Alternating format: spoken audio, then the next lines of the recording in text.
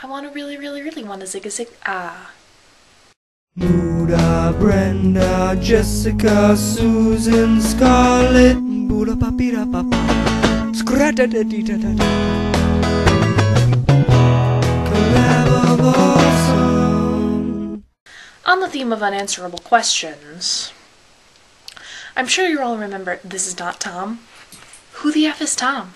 Did Clarissa really explain it all? Why don't people study at Brenda's school? Pro is the opposite of con. Then what is the opposite of progress? If the internet keeps trying to convince Scarlett to buy the creepy One Direction dolls, and the internet is always right, should she buy them? Why is it so much fun to turn everything into a Call Me Maybe parody? If a puppy has a dozen chew toy options, why will she instead choose to chew on your big toe? Has Muda taken a break from this channel entirely, or is she still watching these? In either case, is there a way we can take advantage of this? Why did it take the Lizzie Bennet diaries to finally convince me to pick this up and read it, even though it's been sitting on my shelf for months now? Where are my new episodes of Hank, Katherine, and Michael play Super Mario Bros. Wii? And on that note, why do Hank and Katherine have the most perfect of all perfect marriages? Why can't Jessica hug every cat? Well, I think that's enough unanswerable questions for one night. Uh, I have had an interesting week. My little puppy got sick over the weekend. We had to take her to the puppy hospital.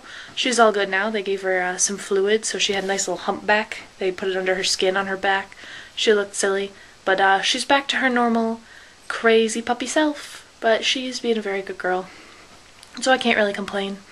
I hope you are all enjoying yourselves. Um, Jessica, when is your graduation? Because I feel like it's coming up really soon, and we should like congratulate you for that and stuff.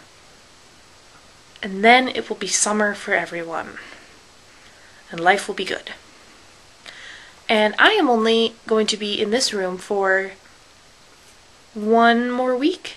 And then I'm moving into the nerd apartment with Lauren and Jackie and Puppy. And that will be fun times.